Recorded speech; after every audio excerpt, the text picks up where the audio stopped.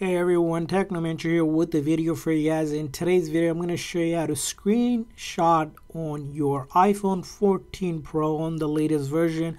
You can use this method on any of the newer iPhones as well. We're going to show you in a few different ways. So let's get started.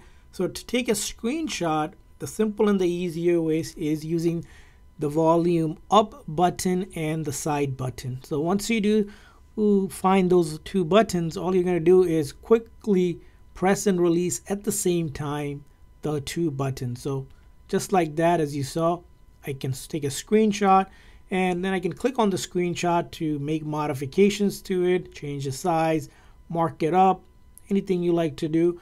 And once you do that, you can go ahead and share it with this icon or click on done right here and you can save it to photos, files, or quick notes. So I'm going to save it to my photos and I'll see here I took a screenshot and it's saved right here. So that's going to be method number one. Now another method is if you didn't want to use the buttons, you can use Siri as well. So in your settings, just simply ensure that Siri is turned on. In that case, you can issue a command like this. Hey Siri, take a screenshot. And just like that with the voice command, Siri can also take a screenshot for you in the same exact process as well go ahead and save it, share it, delete it, whatever you like. Now another method you can use is another cool feature known as back tap. So in your search bar, type in back tap, right? We're gonna go to back tap. It's a feature in the accessibility under touch.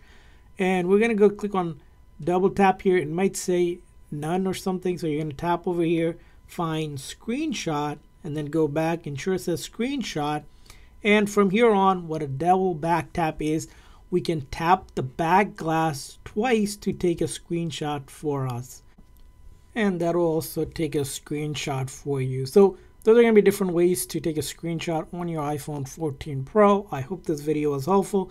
If so, please consider a like and subscribe button for more tips and tricks for your iPhone. We'll see you guys next time.